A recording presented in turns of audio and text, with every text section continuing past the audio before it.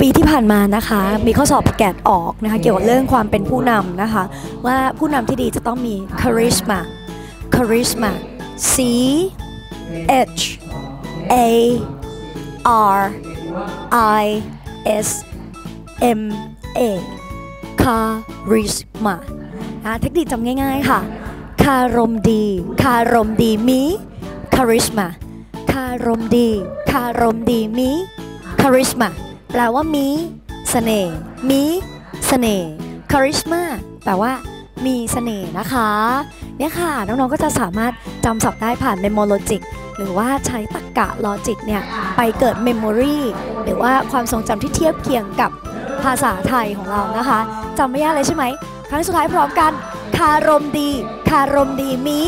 charisma แปลว่ามีเสน่ห์ เก่งมากค่ะ